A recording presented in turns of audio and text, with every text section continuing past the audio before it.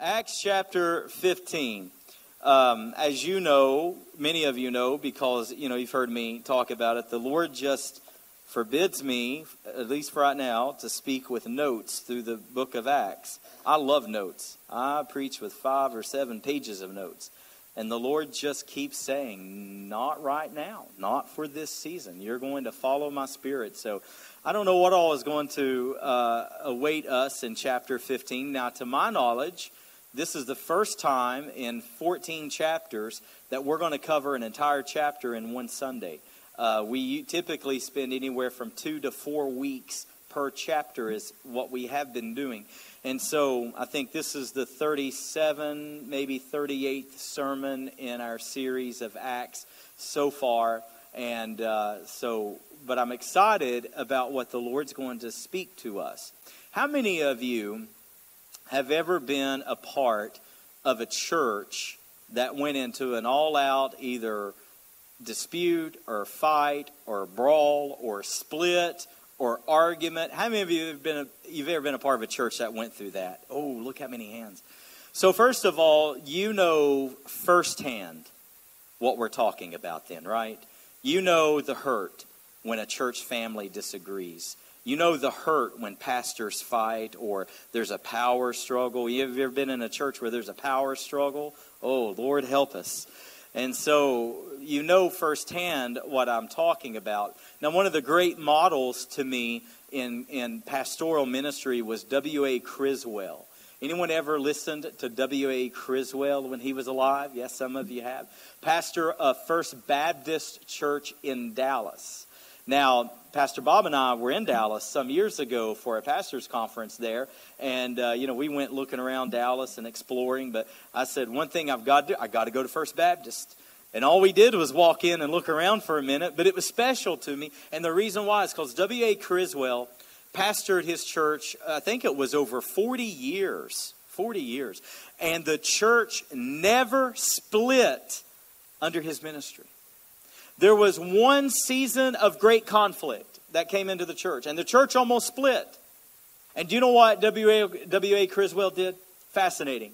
He hired a construction company to come in. You know, it's a massive auditorium. And they, you know, have the old school pews. And hired a construction company to come in and build kneeling benches along the back of every single pew in the auditorium. The church gathered that Sunday, and tensions are high and conflict. And, you know, everyone's wondering, is the church going to split? And you know what he does? He cancels the choir. He cancels the sermon. He cancels the entire program of the day. And he said, if you're part of this church, get on your knees. We're going to pray. And they pray prayed the whole service. And the church never split. Amen. What a great model for us.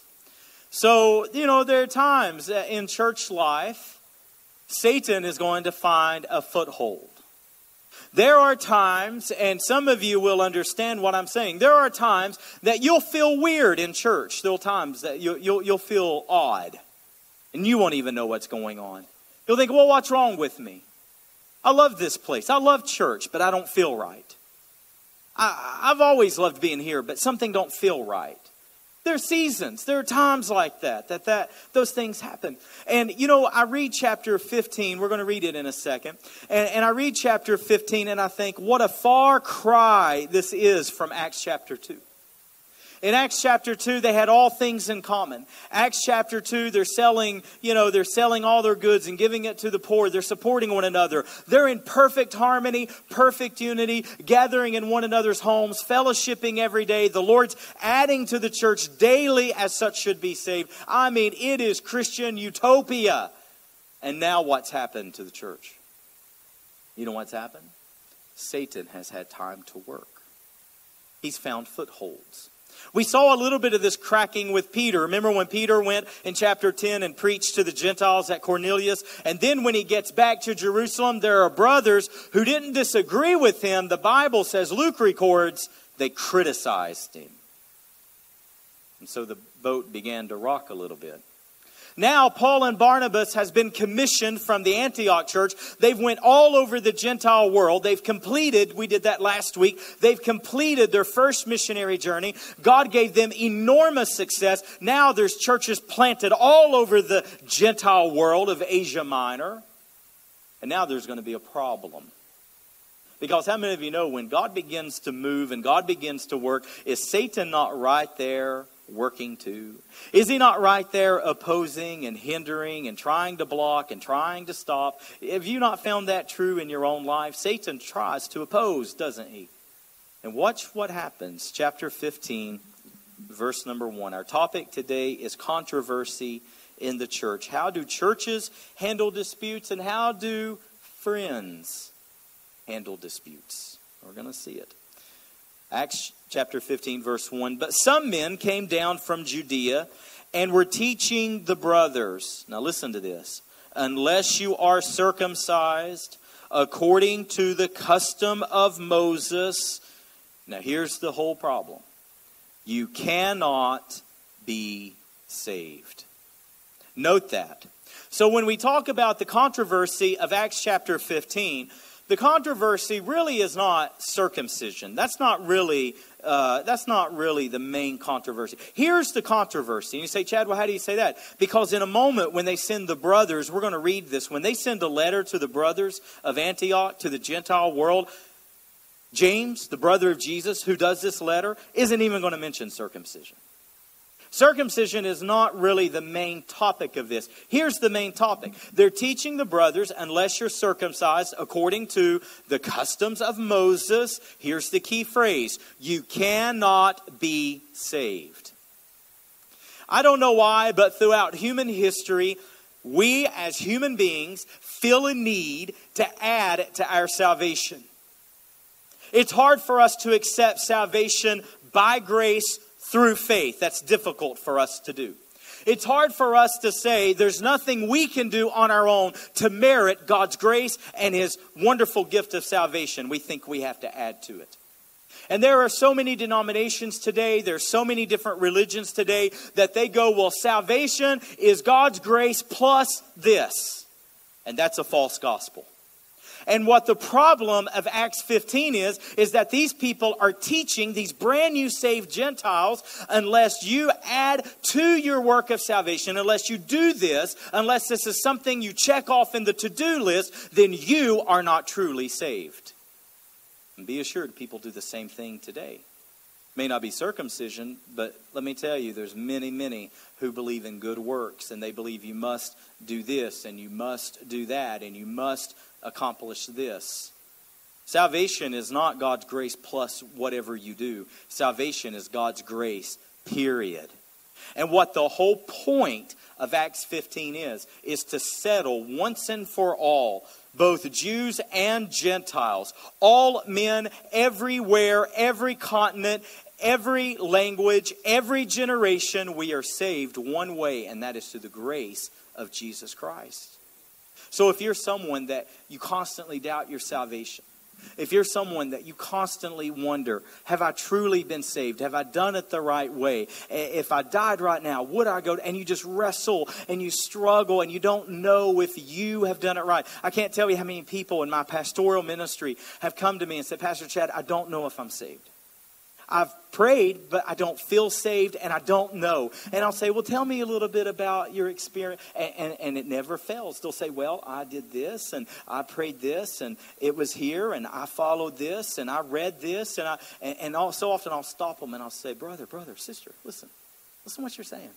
I, I, I, I. Salvation is not what we do. Salvation is what God has done in our life. Amen? Because even the faith we have is a gift from God. God gives every man a measure of faith. Even the faith we have is a gift from God. So this settles it. Ephesians chapter 2, verse 8 and 9. Salvation is a gift of God, not of man, lest any man should boast. It's a gift of God. So this is the dispute, this is the problem. People have come down from Judea. They're teaching the brothers, unless you're circumcised, according to the custom of Moses, you cannot be saved. Verse 2. And after Paul and Barnabas had no small dissension and debate with them, Paul and Barnabas and some of the brothers were appointed to go up to Jerusalem to the apostles and the elders about the question. And being sent on their way by the church, they passed through both Phoenicia and Samaria, describing in detail uh, the conversion of the Gentiles and brought great joy to all the brothers. When they came to Jerusalem, they were welcomed by the church and the apostles and the elders, and they declared all that God had done with them.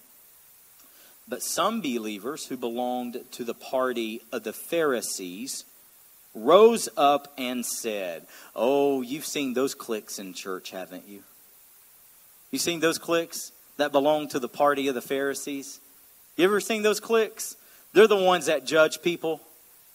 They're the ones who always watch what others are wearing. They're the ones who gossip a lot. You know what I'm talking about, right? Say amen if you know what I'm talking about. You're making me uncomfortable. Bunch of judgy Christians. You're judging me. I can feel it.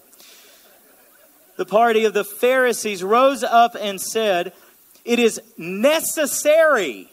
Whoa, we got a problem. It is necessary. See, this is where the dispute is. It is necessary, these Pharisees said, to circumcise them and to order them to keep the law of Moses. I can hear them now. These traditionalists. See, traditions aren't wrong. You understand that, right? The church should hold to many great and deep traditions. Traditionalism is legalism, and that's wrong. Church should not be traditionalism. That's where you get into legalistic matters. That's where you worship. Well, this is how it, this is how we've always done it. This is how it ought to be because this is how it's always been. Tradition's not wrong. traditionalism is wrong. That's legalism.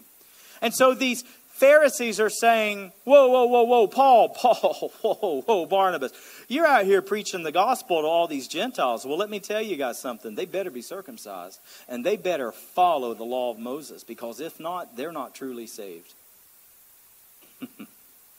I was about 15 or 16. I was 16 when I started working at Anchor Bookshop. Anybody remember Anchor Christian Bookstore that used to be off of Stone Drive? They gave me a job when I was a teenager. And, you know, I didn't know nothing. I just loved God and loved books. And knew I wanted to preach one day. And, and I didn't know big doctrine or nothing like that. And I had been a part of this big evangelistic thing. It wasn't mine, I was a kid. But I was a part of it. And there was a lot of people that got saved. And uh, I'm standing in this bookstore on shift telling this guy that all these people had gotten saved. They'd given their lives to Jesus. And he said, Well, let me ask you a question, young man. He said, Were those men filled with the Holy Ghost speaking in tongues? Well, I don't, I don't know. He said, Well, if not, they didn't get saved. Well, the other guy standing, I don't know, he was eavesdropping. I don't know what he was doing. But he was listening in on the conversation and he butted in. And he said, Well, let me tell you this. If they weren't baptized in Jesus' name, they're not saved. He said, All these people you said get saved, did they get baptized on the spot? I, I, I, I'm, I don't know. so then these two started arguing with each other. Christians are crazy. Have you ever noticed that? I mean, you got some that they are just crackpots, right? Something's fell loose, something's not right. I mean, and they'll argue. Have you ever met those Christians? They would argue with a wall. They'll beat their head against the wall, just enjoy the noise. And that's who these Pharisees were. This was a, these were Pharisees who had become believers, and they said, Whoa, Paul, Barnabas, whoa, whoa, whoa, you're talking, no, no, no. These people aren't saved because they haven't, they've not added nothing to their salvation. They didn't understand grace. So, you can see what a mess we're in. And it's the same today, isn't it? You go to some church, they'll tell you hang on. You go to another church, they'll tell you let go. Well, which is it? Some churches will tell you you got to be filled. Some churches tell you you got to be empty. Well, which is it? Churches will tell you everything, won't they? Stick to what the Bible says. Amen. Don't listen to all that mess. Anyways, that's not even part of our sermon. All right. It, where, where am I now? Verse um, 6. Oh, we got a long way to go, Lord. All right. The apostles and the elders were gathered together to consider the matter. And after there had been much debate, Peter stood up. Now, watch this. First of all, how do you handle disputes? Well, let me tell you what you don't do, and this is what the early church did not do. You don't sweep things under the rug. When there's a dispute in the church, you talk about it, you handle it, you tackle it head on. Amen? Have you ever been around those leaders that they just sweep things underneath the rug? That doesn't work, does it? No, when there's dissension, when there's conflict, when there's tension, let me tell you the best thing to do is gather around the table and put everything on the table. Right? Because let me tell you what I've learned through all of my years of I've pastored for 17 years now. And let me tell you what I've learned in that 17 years. Now there are some people you can't tell them anything. Have you, you ever, you know, you met those people, right? You're not going to tell them they're going to learn the hard way. They're going to be hard learners, and they're going to have to learn the hard way. And you say, "God bless you." Amen. Warren Wiersbe used to say, To live above with saints I love, oh, it will be glory. To live below with saints I know, well, that's another story. and there's some people, they're hard learners, and you're not going to tell them anything, and that's, you know, that's how it is. But let me tell you what I have learned. When people love the church, they love the Lord. There isn't anything you can't fix. There isn't anything that you can't work out. You may have to agree to disagree, but that's just fine. You agree to disagree, and you love one another, and you move on in Jesus' name. Amen. When you take when you take brothers who they don't have their own agenda, see, it's those people you can't handle. When people have their own agenda and they have in their head, this is what I'm doing. Unfortunately, we're going to see that with Barnabas in a moment. He he made up his mind. There was no talking to Barnabas in this situation. So when brothers have made up their mind and there's nothing, uh, well, there's nothing you can do. Pray for them and go on and try to maintain peace. See, that's why Paul wrote in Ephesians we have to be eager to maintain the bond of peace. I can't tell you how I felt the first time I read that and realized what it said. I'm like, Lord, this stuff isn't built in. God's like, no, it's not built in. You have to be eager to maintain peace. You know what that means? You got to work at it sometimes. You'll get sideways sometimes. Your attitude will get bad sometimes. Anybody ever get a bad attitude? Hey. Amen? We get bad attitudes. We get sideways. We get offended. We get our feelings hurt. All of this stuff. You know why? Because we're human. And it happens to every single one of us. But how do you overcome it? You take your little agenda that's not glorifying God.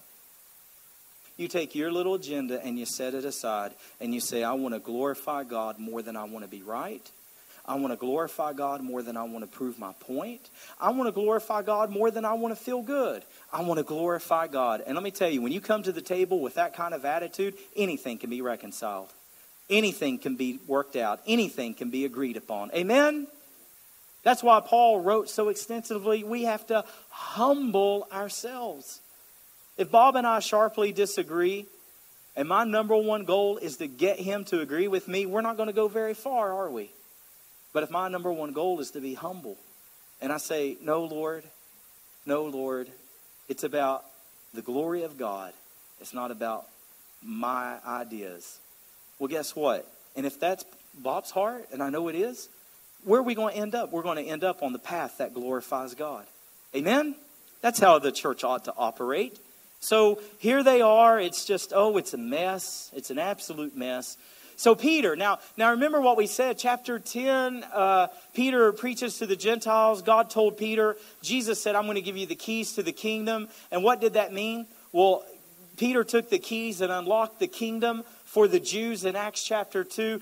Peter took the keys of the kingdom, unlocked the message of salvation for the Samaritans in Acts chapter 4. And then in Acts chapter 10, he took the keys of the kingdom and unlocked the door of salvation to all of the Gentile world. And God has used Peter.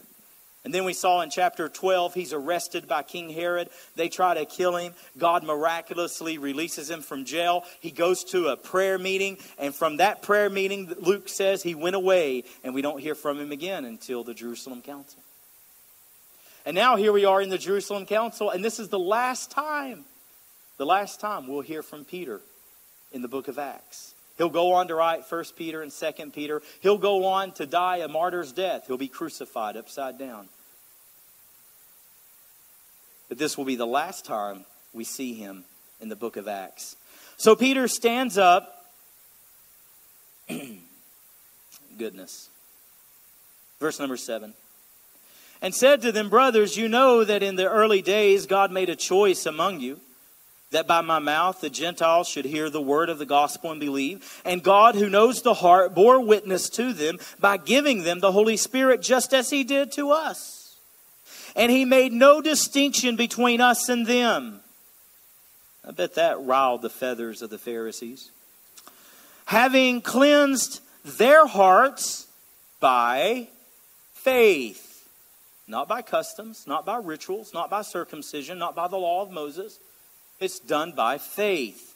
Verse number 10 Now therefore, why are you putting God to the test by placing a yoke on the neck of the disciples that neither our fathers nor we have been able to bear?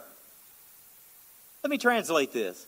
He's saying, You've not kept the law. Our fathers hadn't kept the law. We can't keep the law. Now, why are you putting unrealistic expectations on these new disciples? It's a yoke. Wow. You're getting down to business now. In verse 11, but we believe that we will be saved through the grace of the Lord Jesus, just as they will. Oh, my goodness. I had a I had a guy get sideways with me on Facebook. Don't you hate it when people, don't you hate those keyboard warriors? I mean, they'll just say anything they want on a keyboard. Isn't that ridiculous? And, uh, you know, we have this app, Awakened to Grace, and it's reaching so many people. And we have a website, Awakened to Grace, and now there's a Facebook page called Awakened to Grace. Well, this guy gets on the Awakened to Grace page. You can read it. You can go to Awakened to Grace and read the comments. I think it's under discussion, I think. Well, this guy just loads both barrels against me. You're preaching a false gospel. You're preaching, you're preaching grace. God doesn't save through grace, God saves through the law of Moses. Well, I wasn't going to argue with the guy. I just said, I, I think the Bible would disagree with you. Well, you're reading the wrong Bible. You know, it's like, whoo. I'm thinking if I wanted to get yelled at, I would have stayed at home, right? I'm kidding. That's a joke. She's in Rock Alley. It's fine. Unless one of you tell her, and if one of you tell her, don't tell her. Don't tell her.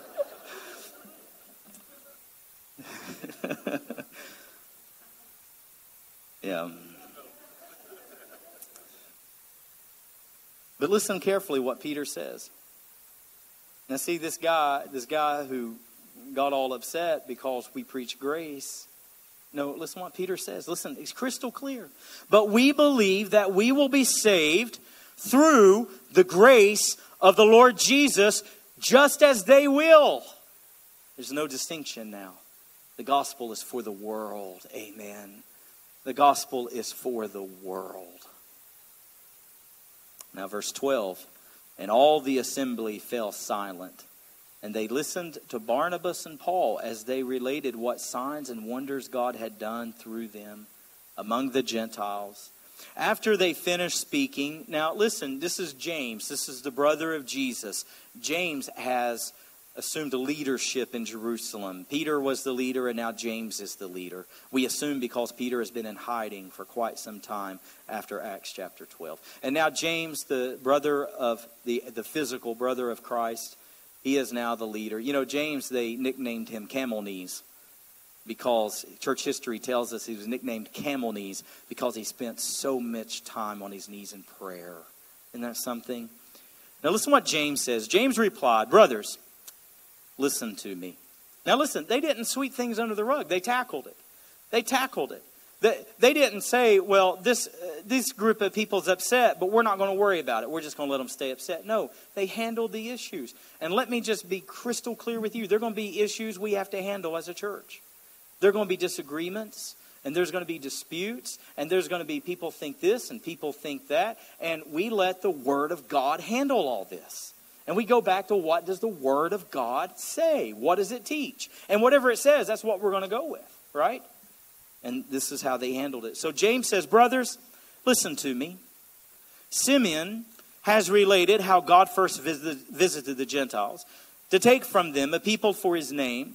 And with this, the words of the prophets agree just as is written. Now he's going to quote the book of Amos, all right?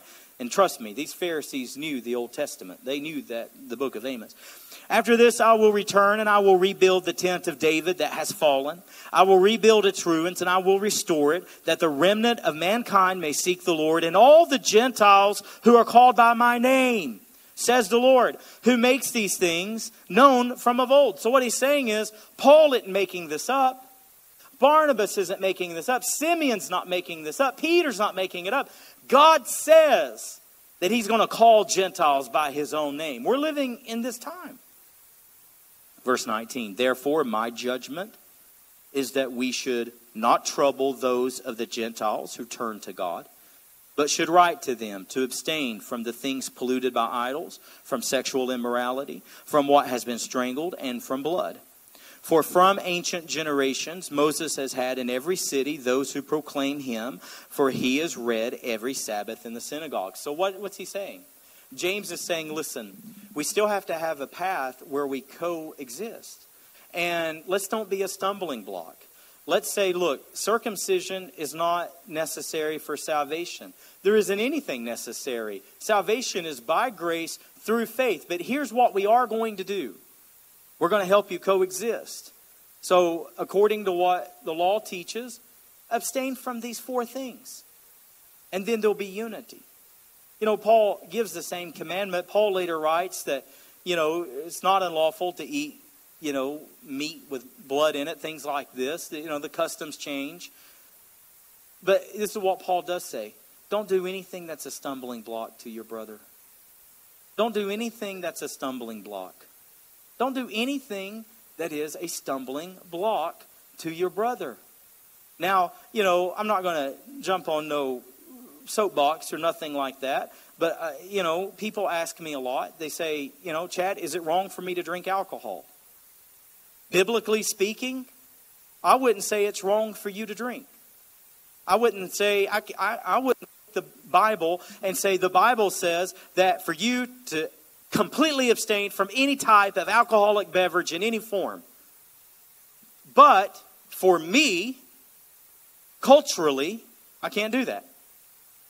If my wife and I went to Olive Garden and we simply had a glass of wine with our meal, what would people walk out saying? They would say, I saw that pastor of that church in downtown and he was drinking.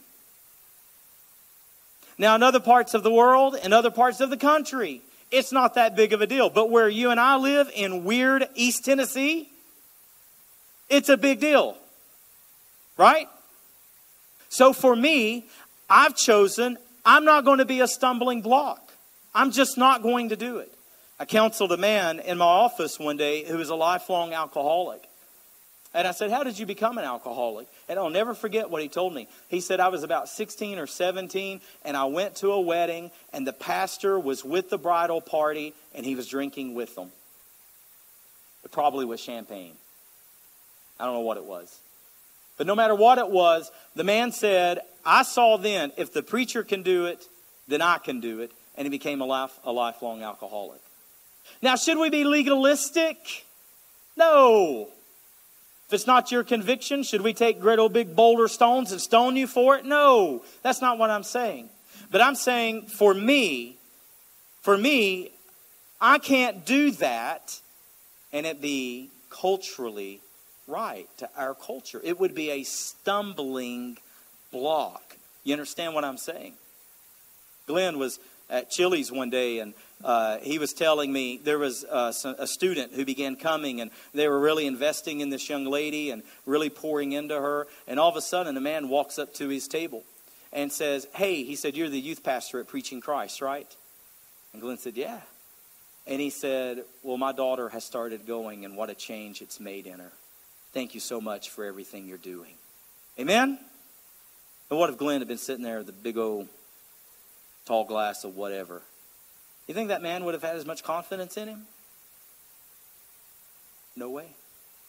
Is it biblically, is it wrong? That's not my question. I'm asking, Does it glorify God? Is it right in the sense of does it glorify God? Is it wise? Is it the, wise thing to do? So, again, that's just one example of saying, listen, not that we're legalistic, not that you have to do this in order to be saved, but listen, this would help your testimony. This would help you. You see what I'm saying? And that's what this letter is. The letter is saying, listen, brothers, just abstain from this. And if you abstain from these things, you're going to have good unity with all these Jews that's in every single city where the law of Moses is read. You're going to keep good unity, you're going to be a good testimony, and we're going to go forward in Jesus' name. Do you see the spirit of this letter? Not bringing the hammer down. It's saying, listen, brothers, let's, let's do what's wise. Now, verse number 22. Then it seemed good to the apostles and the elders with the whole church to choose men from among them and send them to Antioch with Paul and Barnabas. They sent Judas, called Barsabbas, and Silas, leading men among the brothers, with the following letter The brothers, both the apostles and the elders, to the brothers who are of the Gentiles in Antioch and Syria and uh, Cilicia, greetings, since we have heard that some persons have gone out from us and troubled you with words unsettling your minds, although we gave them no instructions. In other words, they're lone rangers. They've gone rogue. They didn't go with our authority. Verse 25 It has seemed good to us, having come to one accord, to choose men and send them to you with our beloved Barabbas and Paul. I'm sorry, Barnabas and Paul. Men who have risked their lives for the name of our Lord Jesus Christ. We have therefore sent Judas and Silas, who, them, who themselves will tell you the same things by word of mouth. For it has seemed good to the Holy Spirit and to us to lay on you no greater burden than these requirements that you abstain from what has been sacrificed to idols, and from blood, and from what has been strangled, and from sexual immorality. If you keep yourselves from these, you will do well. Farewell. Not a great letter. Verse 30. So when they were sent off, they went down to Antioch. Having gathered the congregation together, they delivered the letter. And when they had read it, they rejoiced because of its encouragement. And Judas and Silas, who were themselves prophets, encouraged and strengthened the brothers with many words. And after they had spent some time, they went. They, they were sent off in peace by the brothers to those who had sent them. Now, watch this. Now, we're getting ready to transition. There's a disagreement doctrinally. They handled it. They tackled it, they addressed it, they put all the cards on the table. They said, What glorifies God? What do we believe? What are we going to decide going forward? And they went forward together in unity. In unity. I can thankfully say that since we've had elder team, deacon team, financial team, I have not made one decision for this church as a Lone Ranger. Everything that we've decided has been team decisions. Everything. The church is not designed to be ran by one man. Would you agree? It's designed to have plurality of leaders. And why? Because there's safety in that. So even though these Pharisees were sideways, and even though these Pharisees were, you know, you know, they were legalistic. No, the leadership of the church moved it forward. And that's how it ought to be ran. But now, what do you do when you disagree personally? Oh, now this is when it hurts. Let, us read and let's watch what happens to Paul and Barnabas, and then we'll begin to close. But Paul and Barnabas remained in Antioch, teaching and preaching the word of the Lord with many others also. So everything's going good, right? They're continuing their ministry, they're fulfilling what God has called them to do. And after some days, Paul said to Barnabas, so we don't know how long this was. We don't know if they remained months, a couple of years. We don't know. Luke just says after some days. He says to Barnabas, Let us return and visit the brothers in every city where we proclaim the word of the Lord and see how they are. Now, Barnabas wanted to take with them John called Mark. But Paul thought it best not to take them, take with them the one who had withdrawn from them in Pamphylia. Remember that on the first missionary journey. John Mark turned around and went home. He deserted them and apparently ticked Paul off. Had not gone with them to the work, verse number 39. And there arose a sharp disagreement so that they departed from each other. Barnabas took Mark with him and sailed away to Cyprus. But Paul chose Silas and departed, having been commended by the brothers to the grace of the Lord. And he went through Syria and Cilicia, strengthening the churches. This is a very unfortunate circumstance. One day when I get to heaven, I would love, love, love to get the full story on this. Paul and Barnabas have a sharp disagreement. I mean, we're talking about men who are as godly as godly can get. I mean, men who the Holy Spirit hand chose in Acts chapter 13. And after prayer and fasting, the Holy Spirit said, Set apart Paul and Barnabas to a work with which I've called them to do. And now they're split. And now they're mad. I mean, notice the language a sharp disagreement. Has anyone ever cut you with their tongue? Have you ever cut someone with your tongue? You know what sharp disagreements are, right? Boy, we can misuse it, can't we? And they've had a sharp disagreement over a young man named John Mark. Now, John Mark deserted them in Pamphylia, left on the first missionary journey. I'm sure all Paul could see was the back of John Mark as he deserted them. A few lessons I want to bring out here. What do you do when you disagree personally? See, it hurts more than doctrinal disagreements, right? You can agree to disagree over doctrinal things and you know, you keep you keep the grace of God number 1, you keep the word of God number 1. You'll go on, you'll move on. You'll you'll get past it. But what do you do when it's personal? What do you do when it hurts, right? How do you handle it? Well, what we know, just so I don't leave you on the edge of the cliff, Paul and Barnabas and John Mark, they all did reconcile. Paul later wrote in Timothy, commending Barnabas, and uh, they reconciled their relationship. And he also invited John Mark to come see him when he was in prison in Rome in his last days. He wanted to share his last days with John Mark. John Mark went on to become a hero of the church. As a matter of fact, this is the same John Mark that penned the Gospel of Mark. The same man. God went on to use him. But there was great damage done in the process. Now, I've thought about this all week, and I've I, I, I just kept going back. How should this have been handled? Was it handled best? Was it handled right? Now, see, God in His sovereignty, He did allow this, and you know what happened? They covered double the ground. And that happens sometimes. I mean, God in His sovereignty, He can cause all things, the good, the bad, the ugly, He can cause all things to work together for good. Can He not? I'm thinking of two churches right now. I would never say their names out loud. But the pastor left and the church split, and half the people went with him, and the other half stayed at the other church. And for a long time, I'm talking probably a good year, boy, they bickered back and forth. I mean, they would talk bad about one another and all this mess, and it just hurt. They weren't doing it because they were bad people, they did it because they were hurt. It hurt deeply.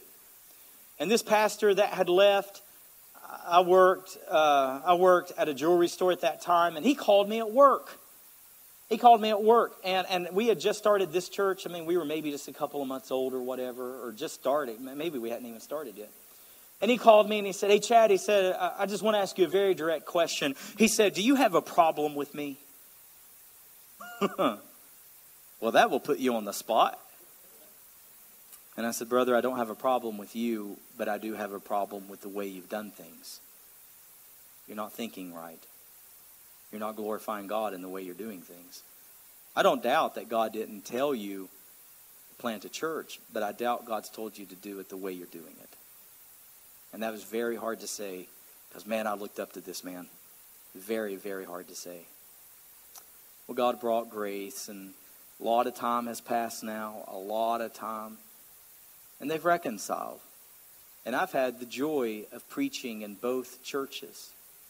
I told both churches, I said, who's, who's going to be saved under your minute? Who's going to join a family when all the kids do are fight? right? You got to keep the glory of God number one. But thankfully, over time, things restored and God brought grace and things are better. And but listen, things like this happen. But you know what? God in His sovereignty can cover double the ground. Now there's two great churches, not just one. But the collateral damage in the process, oh, monumental. It was heartbreaking. So I wonder, you know, I've wondered how should this have happened? How should it have been handled? Well, let me show you a couple of things and then I'll, I'll bring it to a close.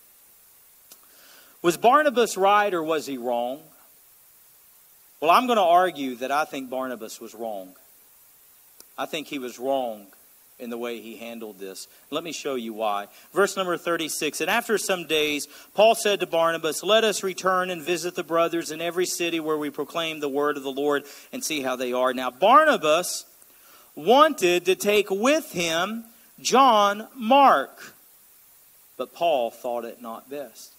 Barnabas had already made up his mind. He was going to take John Mark. They were cousins, they were related. And this was going to happen. He approaches Paul and says, Well, Paul, what do you think about this? I think he's matured. I think he can do it. I think he can handle it. Let's take him. And Paul says, No, no, he's done burned me once. Uh uh-uh, uh, we are not taking him. And all of a sudden, this sharp disagreement comes. Now, how should Barnabas have handled this? Should Barnabas now, eh, you, you, know, you know what I really wonder if Barnabas didn't say, man, I'd have been a fly on the wall during this conversation. Do you remember when Paul was converted in Acts chapter 9 and no one believed him? Who was the brother that took Paul and went to the Jerusalem elders and said, Brothers, you need to accept him. This is genuine. Who pleaded Paul's case? Who was on Paul's side? It was this great man named Barnabas. His name means son of encouragement. Who was it that when the brothers had need in the early church in Acts chapter 4, at the end of the chapter, who stepped up first and sold property to meet those needs? It was Barnabas. You're talking about a good man. Barnabas was as good as they came. You didn't get any better than Barnabas. He was an encourager. He would fight for you. He was loyal. And now his relationship with Paul is on the line. And what does he do? He decides it's a hill to die on. And they part ways. What should have happened? In my opinion, in my very humble estimation, Barnabas was not an apostle. He is referenced as an apostle um, in the first missionary journey, but commentators believe that's a reference as an apostle as being sent out by the church. He was not qualified as an apostle as he has seen the Lord Jesus the way that Paul and the other apostles were. So, what's the point? The point is, Paul outranked him. Paul was the authority, Paul was the leader. In my opinion, what Barnabas should have said is Look, Paul, this is very important to me. I ask you to pray about this. I, let's seek the Lord together. And I cannot stress how important it is to me that John Mark join us. But listen, I'm going to submit to your authority. And we'll do what you deem best. That's what he should have done. God always, always, always honors authority. Amen? Always. And Barnabas, I feel, made a mistake. Now, let me tell you two reasons why I feel like Barnabas made the mistake. Now, am I saying it in a judgy way? Am I throwing stones? No, because John Mark went on to do amazing things for God. John Mark went on to become a champion of the faith, and he penned the Gospel of Mark. So I'm not, I'm not being, you know, haughty saying, look, throw stones at him. I'm just saying what would have caused this disagreement to not have been so sharp. Two things that I notice. Number one, Barnabas is never mentioned again in the New Testament. Now, did Barnabas go on and fulfill his mission? I'm sure he did. Did Barnabas go on and serve the Lord in a great way? Oh, I'm sure that he did. But when it comes to the pages of Acts, he's nowhere else mentioned. He falls off right here. I think that's telling. Number two, now this is very interesting. Watch what happens. What did we say? Paul was the authority, and he should have listened. He should have submitted to that. But listen to this. Verse number 31 Barnabas wanted to take John, called Mark. Verse number 38 But Paul thought best not to take him, since he had withdrawn in Pamphylia. And then verse 39 There arose a sharp disagreement, so that they separated from each other. Barnabas took Mark with him and sailed away to Cyprus. Remember, he's from Cyprus. He's going to go and strengthen the churches there in his own country. But watch what happens when Paul and Silas leave. Look at the difference. Verse 40. But Paul chose Silas and departed, having been, look at that, commended by the brothers to the grace of the Lord. He was sent out. Do you see the difference between Barnabas and Paul here? Lord, forgive me if I'm reading too much into the text. I don't mean to do that. But do you know what it almost sounds like to me? It almost sounds like Barnabas got sideways and had that attitude I'm going to take my ball and I'm going to go home. He was not commended by the brothers, they were not sent out the way they should have been. See, when things are done right, and things are even even if there's some tension even if there's some disagreement when things are done right the leadership should be able to bless you. You see what i'm saying? And that happened with paul and silas. It did not happen with barnabas and john mark did they go on and do good things? Yes yes yes. Did god bring reconciliation? Praise god yes. But i can't imagine how damaged the tender soul of barnabas was being the encourager he was, being the leader he was, being the man of God he was, there was a lot of collateral damage that happened right here. So, what's the point today? The point is number one, disagreements happen among godly people. Just because you love the Lord and just because the church is under the lordship of Jesus doesn't mean that we won't sharply disagree at times. Things will happen feelings will get hurt. But do you know how you keep your feelings from getting hurt? Let's just say Bob comes up to me after church and he says, Chad, first of all, I didn't like the way you held that microphone. Second, I didn't like half of what you said. Third, I really don't like the shoes you're wearing today.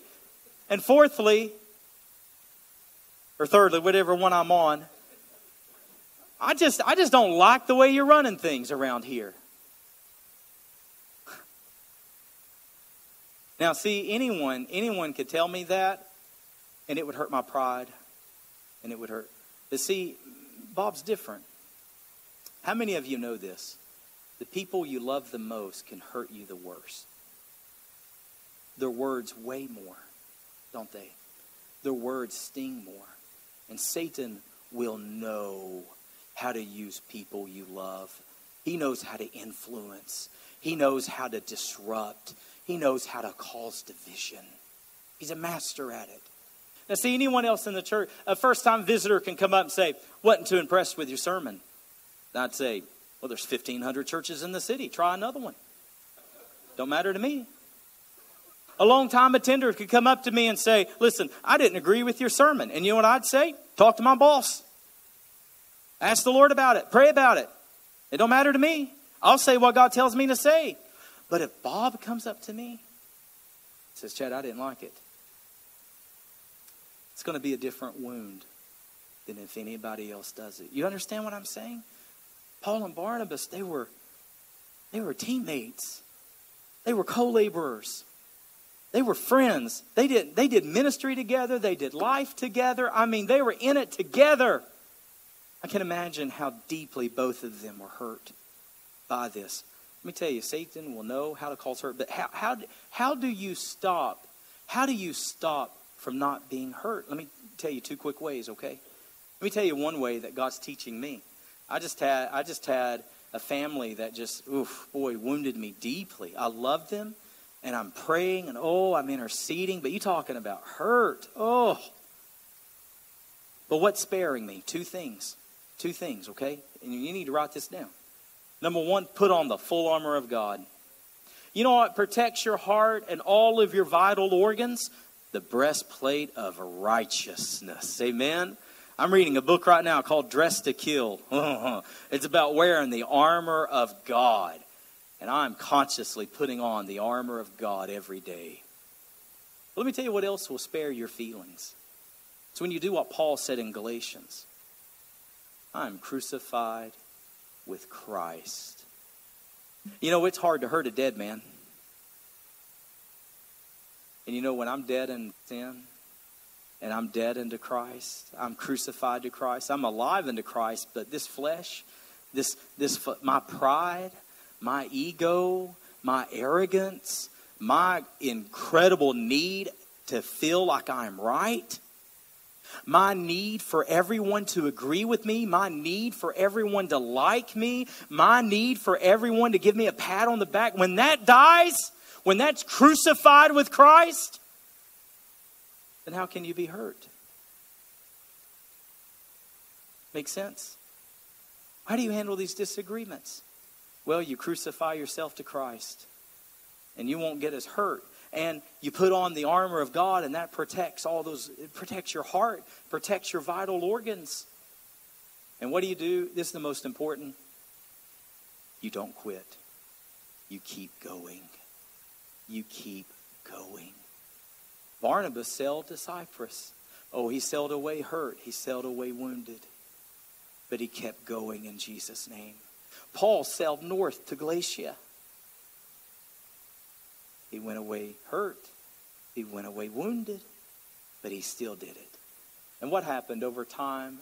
God, in his beautiful grace, brought reconciliation and brought restoration. Thank God that happens. But if you're someone today that you have been hurt in the past, then I want to encourage you. Handle it the way the early church did. Number one, talk about it, deal with it. Somebody offended you, go to them. Say, brother, you probably don't even know this, but you, you've offended me. And I want to talk to you about it. Can you imagine how much humility that takes to walk up to somebody? Glenn, you don't know this, Glenn, but you offended me. You probably aren't even aware of it, but I, I was offended by this. Prideful people won't do that. But that's the biblical way to do it. You've been hurt, you've been offended in the past, you've been dealt a blow in the past. Well, put on the armor of God. Be crucified into Christ. Determine you won't quit. You're still going to go on in Jesus' name. And let me tell you, God will heal the wounds. Over time, God will heal. He'll have grace for that. He'll help you. And, and, and let me tell you, you're not going you, you, you be a people pleaser. You're never going to. You're not going to make it far. You can't be a people pleaser. Amen? People will quit on you. They'll talk about you. They'll lie about you. They'll do, they'll do everything underneath the sun. But that don't change the mission. What if John Mark had a sulked around for the rest of his life and said, Paul don't like me. Paul has no confidence in me. Paul don't think I'm a good missionary. He could have done that and the kingdom could have suffered. The kingdom could have been hurt. But no, what did all three of these men do? They went on in Jesus' name. And then restoration came. You need to move on. That divorce, you need to move on. That job loss, that boss that fired you, you need to move on. That bankruptcy, you need to move on. All of the hurts, all of the disappointments you've had that you've held, listen, you need to move on and say, listen, it is what it is. God will give me grace. I'm going forward in Jesus' name. Amen. As Michael comes, let's pray together today. I don't know where you are in the sense of feeling slighted or feeling hurt or feeling offended. But I'll tell you this if you have a pulse today, if you have a heartbeat today, you better believe Satan will try to get your feelings hurt. He'll try to get you offended. He'll try everything. Look at Paul and Barnabas. He came at them with persecution and they overcame. He came at them with opposition and they overcame. He came at them with pride. You remember that a couple of weeks ago? They tried to worship them as gods and they overcame. But what's the one thing they could not overcome? A personal hurt. Isn't that unbelievable? They overcame cities persecuting them. They overcame a stoning. They overcame these magicians. They overcame so many obstacles. But the one thing they couldn't overcome was a personal hurt. Are you the same way? It's the one stumble in your life. It's the one thing that's tripping you up. Put on the armor of God. Amen. Put on the armor. Toughen up. Endure hardness as a good soldier. And say, God, this is not going to be the stumbling block in my life. Yes, I'm hurt. Listen, Barnabas had to have been hurt. Paul had to have been hurt. I'm not saying the hurt's not real, but I'm saying have a resolve. I'm going to move past it. This family that's hurt me so deeply, what have I had to do? I've had to say, Lord, I give them, Lord, they're yours. They're not mine, they're yours. They're your sheep. You do with them whatever you want. You want coaches call it next man up football. All right, God, it's next man up. Let's go. Let's go. We're on mission. We're on target. We're not going to sulk. We're not going to sit here and cry about that. We're not going to, no. We're going to put on the armor of God, and when arrows hit us, they hit us, and we go on. We go forward. You know what Roman soldiers did with the shield of faith? I'm reading this book right now, and it's blowing my mind. You know what they did with the shield of faith? Their shields were the size of doors, and they had hinges on them. And you know what? When they went into battle, Brian, if you were beside me, Georgianne, if you were beside him, John, if you were beside me, Bob, you know what they would do? They would link their shields in the hinges, and they would march in can you imagine what that army, when they saw thousands of Roman soldiers linked, marching in unison, advancing? But see, you get Georgianne off here by herself. You get John over here by himself. You get Brian over here off to himself. And what happens? Then the enemy can just attack and attack and attack, and he can beat you down. But we lock our shields of faith together. We march in unison, saying, No, we're going to accomplish the will of God. The glory of God is number one in my life. And we're going to get it done. We're going to get it done. There'll be casualties. There'll be people fall by the wayside. There'll be people join other ministries. They'll go to other churches. They'll do all kinds of different things. But we are going to accomplish the will of God no matter what. A resolve. Don't quit. That's what this whole thing's about. Don't quit. Stay on mission. Let's bow our heads today. God, give us strength today. Strength to go on. Strength to continue. Strength to not back down. Strength to not give up. Lord, you know, you know how Satan has fought me lately this week, God. I was just thinking of the irony. It seems like the harder I pray, the harder Satan fights. And right there, Satan is saying, Quit praying. Quit. Why don't you just discontinue Tuesday prayer? Why don't you just quit? Why don't you just quit it? Because you know what's happening. The harder you press in, the harder you get attacked. So just give it up and quit. Oh, what a liar. What a liar. What a liar. What a liar. What a liar. Lord, what is Satan lying in these people's lives? What's he saying that's not true? What's he saying that's a lie? Lord, let your truth be in us. Let your truth be in us. Let your truth be in us. Thank you, Lord. Thank you, Lord. So strengthen us, Lord. Strengthen us. Strengthen us. In Jesus' name. in Jesus' name, amen.